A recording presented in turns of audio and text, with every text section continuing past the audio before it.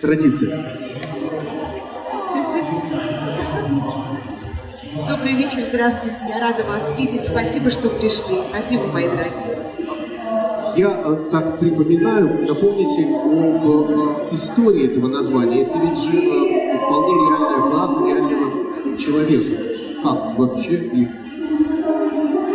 Название книги «Ангелы на льду не выживают» – это прямая цитата из статьи э, известного э, журналиста спортивного Артура Вернера, который почти 40 лет пишет о фигурном катании. Он знает о фигурном катании абсолютно все. Он любезно согласился быть одним из моих консультантов, э, терпеливо отвечал на все мои вопросы, порой совершенно дурацкие, тупые, ну, по крайней мере, для него, как для специалиста. Они, наверное, были скучны, но он не жалел времени все вопросы мои отвечал. Вот в его статье, посвященной 60-летию Татьяны Тарасовой, была такая фраза, цитирую ее дословно. Конечно, Тарасова не ангел, двоеточие. Ангелы на льду не выживают. Когда я эту фразу прочитала, я просила у него разрешения использовать ее в качестве названия с обязательной ссылкой на него. Он такое разрешение дал, поэтому, слава богу, мне удалось отвоевать в издательстве это длинное и не понравившееся им название.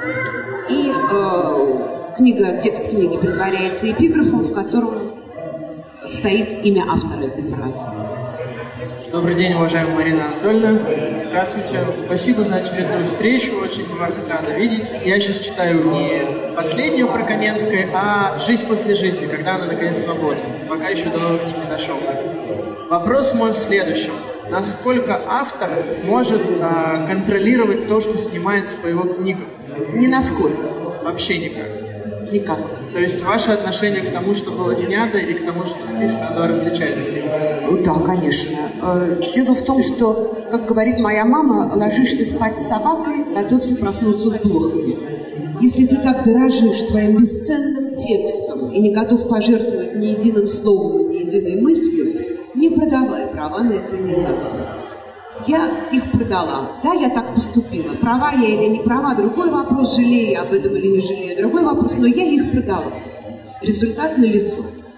Автор мешает производителю сериала и вообще производителю кинопродукции, потому что м, производителю нужно снять э, что-то такое, что стопудово будет смотреть аудитория его канала. И вот очень характерный пример с экранизацией э, книги «Взгляд из вечности». Есть у меня такая книга, мимо вас, вероятно, она прошла. Это не детектив, это семейная сага, длинная, такая, в трех томах, совершенно верно. А, Когда у меня покупали права, мне, а у меня главная героиня умирает в этой книге. Только Марина Анатольевна, Люба останется жива. Ну как жива? В том, что она умерла, есть смысл книги. Вся книга пишется для того, чтобы показать, что нельзя так жить, как жила она. Это ведет к саморазрушению и гибели. Нет, ну что вы, наш зритель этого не поймет. Э, В своих книгах, ну, в основном э, в первых, вы поднимали очень интересные темы. Там, тема смерти э, в седьмой жертве, тема мести, никто не хотел убивать, там были тема выбора, тема греха.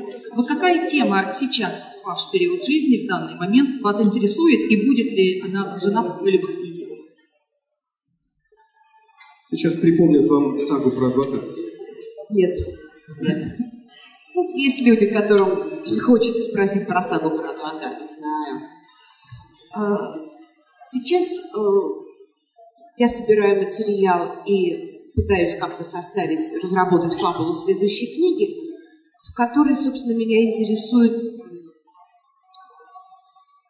тема, давно меня интересующая, и так или иначе я ее во многих книгах уже трогала, как осторожненько пальчиком ковыряла, как дисколапкой. Это вопрос о том,